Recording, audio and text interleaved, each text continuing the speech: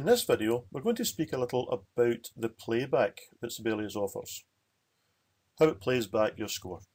Now you can see I've created a little ditty here, which I'm going to let you hear first of all so you can hear exactly how it sounds. Here we go.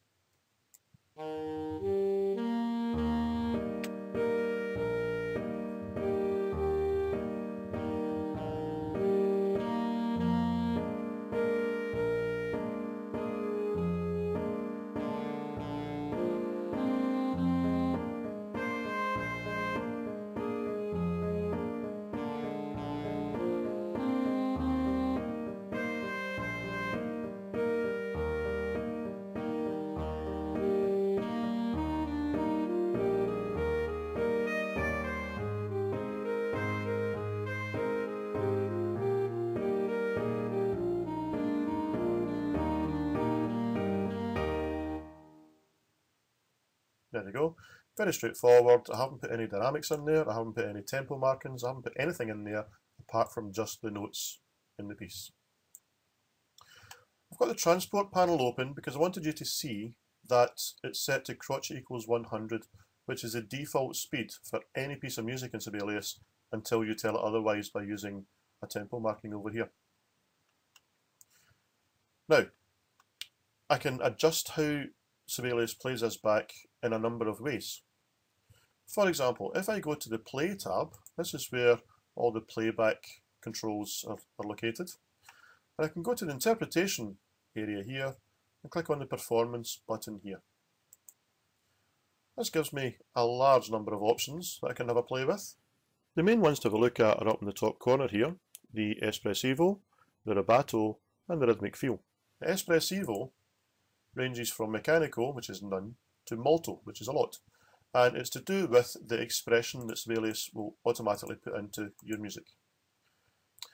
The rubato drop down here, again, determines how much rubato Sibelius will put in, ranging from mechanical, which is none at all, very strict, right up to molto, which is quite free.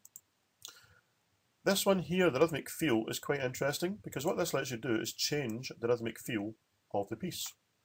So for example, I can I could choose um, let's say a light swing for here. I'm going to click OK. Nothing changes on the score, but when I get to, for example, this point here, listen to the quavers. If I play from there.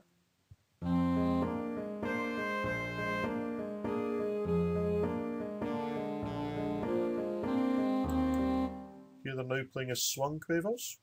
There's nothing on the score to indicate that, but because I've set the rhythmic feel to be for the whole piece, to be light swing, that will now affect the entire piece. There are no quavers in the first half of it, so it doesn't really make any difference over there. But now, over here for example,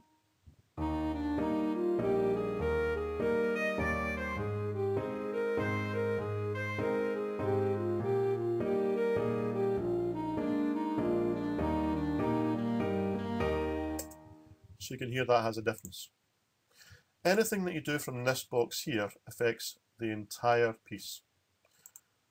To me that sounds a bit odd, so I'm going to set it back to being straight up at the top here. You can see there are lots of different options to choose from there. I'm going to set it back to being straight. You can also determine whether or not it uses the ambient reverb, and if so, what type of reverb you're going to use. there are lots and lots of other options. I'll leave you to have a play with those yourself, because um, it would take far too long to go through each option individually, but these are the main ones to be aware of in this dialog box. However, there is another um, option up here that you want to be very much aware of, and it's this one here, the dictionary. What this lets you do is to access all of the playback and control words that are in Sibelius, and you can see exactly what it's going to do when you use them. You have the option of using staff text, system text, lines, articulations, note heads or symbols, and these all do different things. So for example, if I look at the staff text, these are all things to do with how the instruments are played. So for example, if I do cup mute, it changes the sound. You can see there are various different things that it will change up here. It's changing the sound to a cup mute. If I change, if I were to put detach, it would change the sound up there. If I use any of the dynamics, obviously, then the dynamics affect the dynamics up here. But what's interesting for this experiment is to use a system text box. And what I'm going to do is point out one or two and then use them and you can see how they work. For example, you have all the um, tempo markings in here. So for example, Andante will set the tempo to 80 crotchets per minute. Allegro, however, will set it to 120. Allargando, or Allarg, will scale the tempo to 80 degrees, eh, sorry, 80% of what it currently is, whatever that happens to be. So we'll do it by percentage rather than do it as a strict number. You also have things like your heavy swing. All of this means that it will give it a swing feel. You really don't want to start changing any of these unless you want to take it very, very seriously. Normally, what Sibelius will do is going to be fine. So let's have a look at some of these in action.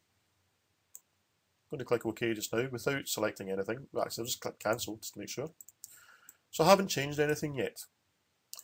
But if I go to my Text tab, go from the styles, I'm going to choose a tempo text because if you remember from the text video, that will affect the entire score.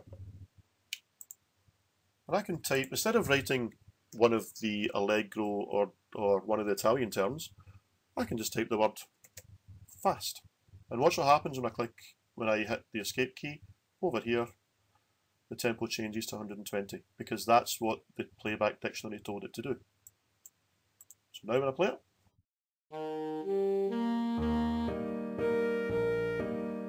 just play back at slightly faster speed.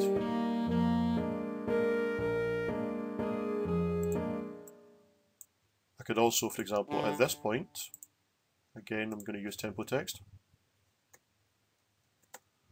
Type faster. And this is another one of the instructions which will make it 120% of whatever it happens to be before. So if I play from slightly before mm. that, watch what happens. To the tempo here.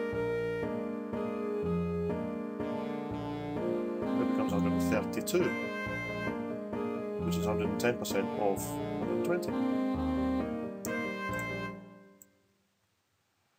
What I can also do, for example, is let's say at this point um, here, I can type the word, if I go to again the tempo text, I can type the word swing listen to the quavers at this point. So again, I'll play from a wee bit before it. Straight quavers. Swing quavers.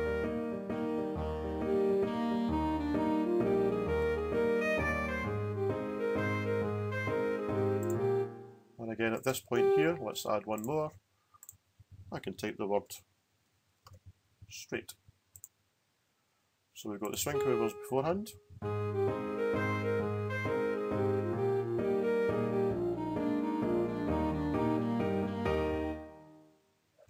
So you can see that using some of the words from the playback dictionary affect the playback of the score without having to go through all the process of learning what all the Italian terms mean and stuff. You can just use these words, and as long as these words are used in context there, Sibelius will recognise them. So for example there, I wrote the word swing.